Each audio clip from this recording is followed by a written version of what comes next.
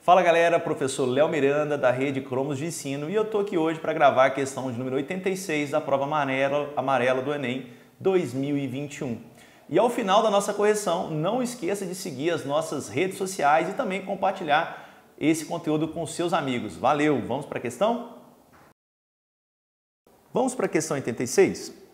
O uso de novas tecnologias envolve, então vamos lá, começando aqui, novas tecnologias. Envolve a assimilação de uma cultura empresarial na qual haja a integração entre propostas de modernização tecnológica e a racionalização. Nem sempre o uso de novas tecnologias é apenas um processo técnico, na medida em que pressupõe uma nova orientação uh, no controle do capital, no processo produtivo e na qualificação da mão de obra.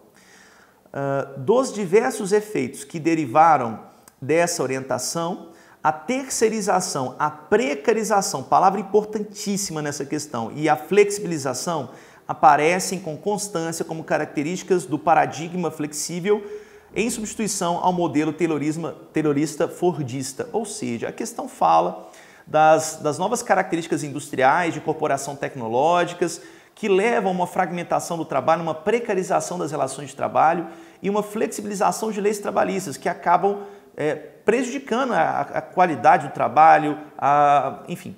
Nós estamos falando aqui de claramente de uma questão que se relaciona à questão laboral.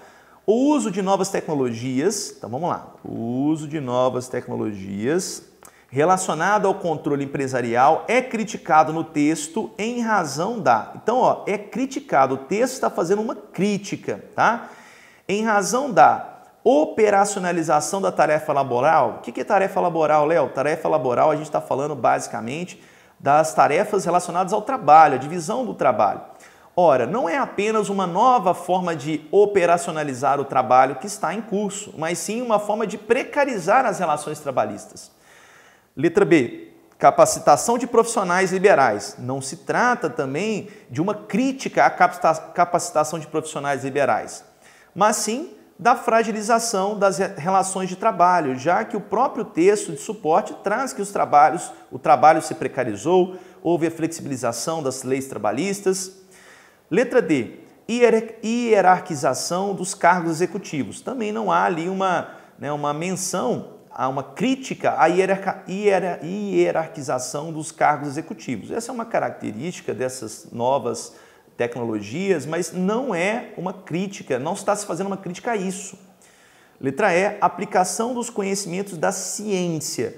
Ora, os conhecimentos da ciência são aplicados às novas tecnologias, mas essa não é a origem da crítica, palavra importante, portanto, gabarito letra C.